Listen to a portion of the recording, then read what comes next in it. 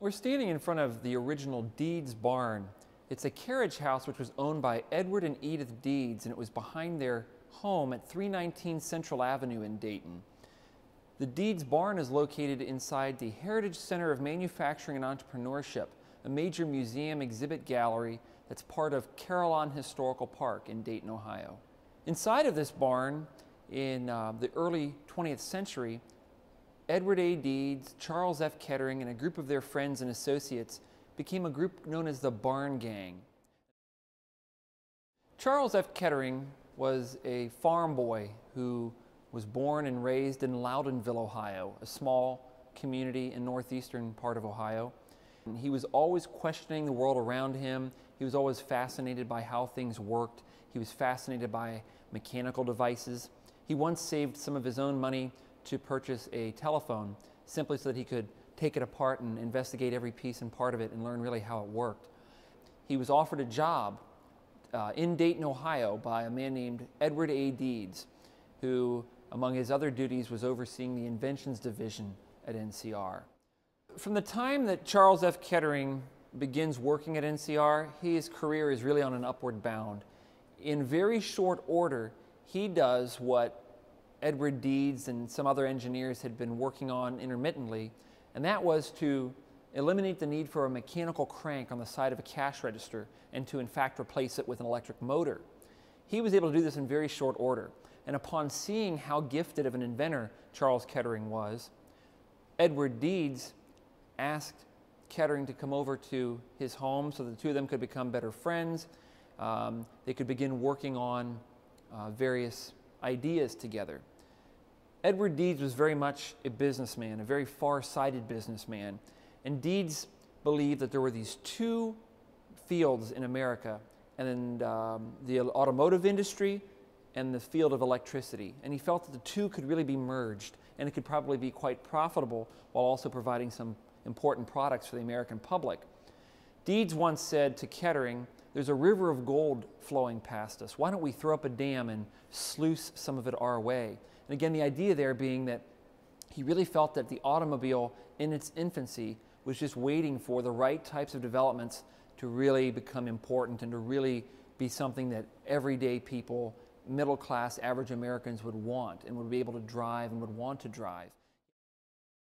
So the barn, which was located behind the home at 319 Central Avenue in Dayton, was really the location of all of this energy and, and activity that was going on by the barn gang. It would be similar to the idea of a startup company in a garage in California or in Silicon Valley. But in this particular example, these were men working um, all hours of the night, sometimes up to 36 hours a, at, a, at a time, 36 hours in a row, trying to crack some of these puzzles of the engineering behind the um, automobile. Uh, the first problem that they encountered was looking at automobile batteries. And many of the automobile batteries in these days were very unreliable. You would be driving your car and suddenly, without warning, it would stall out. It would, the, the battery would die.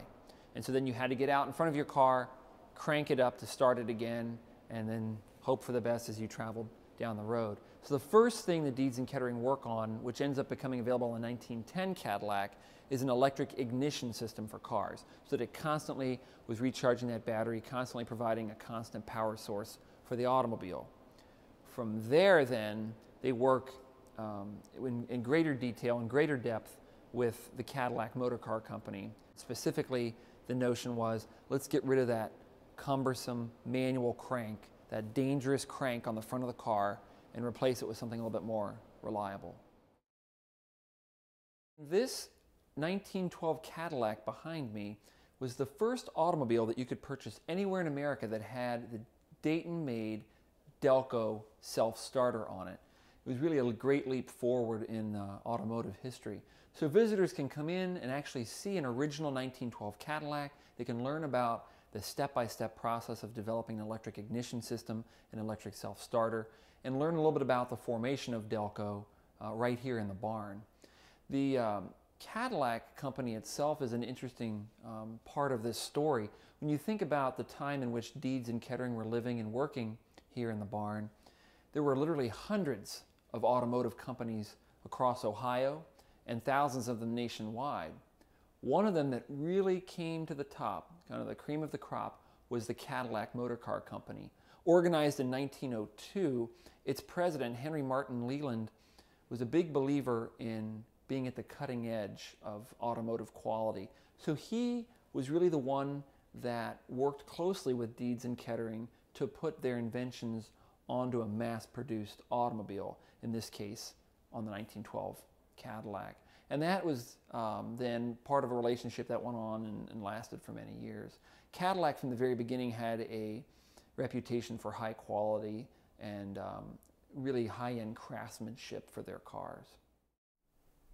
The work of Deeds and Kettering and the Barn Gang in the original Deeds Barn in Dayton, Ohio, was instrumental in modernizing the automobile and making it a 20th century um, mass produced, everyone must have type of item.